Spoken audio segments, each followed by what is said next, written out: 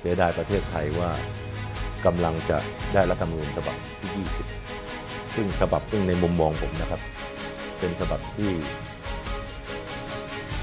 ไม่เอื้อต่อประสิทธิภาพในการบริหารประเทศเลยค่ะเป็นฉบับที่เน้นการตรวจสอบสูงสุด